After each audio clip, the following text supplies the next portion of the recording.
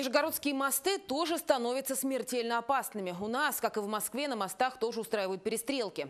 Так, в минувшие, э, в минувшие выходные на Канавинском мосту прямо во время движения, не обращая внимания на пассажиров, неизвестные открыли стрельбу по маршрутке.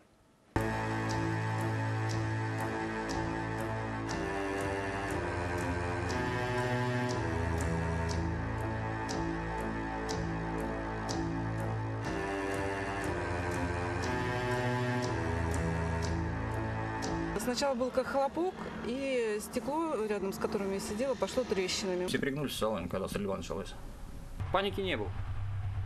Вот испуга паники не было, никто на двери не бросался, никто не, не пытался выскочить из автобуса. Все замолчали, салон молчал.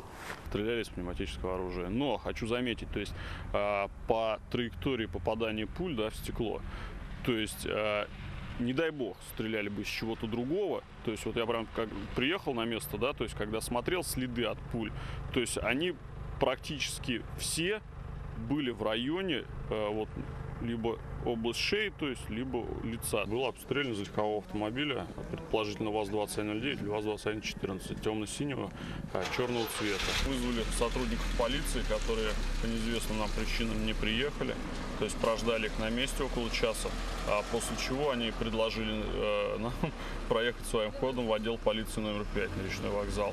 А, То есть после прибытия на место к отделу полиции водитель сам к ним поднялся, они ему вручили бланк объяснительный, он спустился, заполнил его и опять поднялся к ним. То есть вся эта процедура еще около отдела заняла порядка двух часов. Вот. Собственно, после чего автобус отпустили, никто не вышел, не осматривал ни сам автобус, ни место происшествия, ничего. Данное э, транспортное средство было осмотрено в день поступления сообщения непосредственно около здания отдела полиции, и после чего сотрудники полиции выехали э, к месту, э, где был совершен сам факт э, предполагаемого обстрела, то есть на Канавинский мост. Данный участок местности также был осмотрен. Именно полиция вот в эту минуту, если бы они приехали там в течение получаса, можно было объявить план перехват, как они обычно это делают. Для этого же все делалось. Мы заботились о безопасности людей, чтобы предотвратить это в дальнейшем.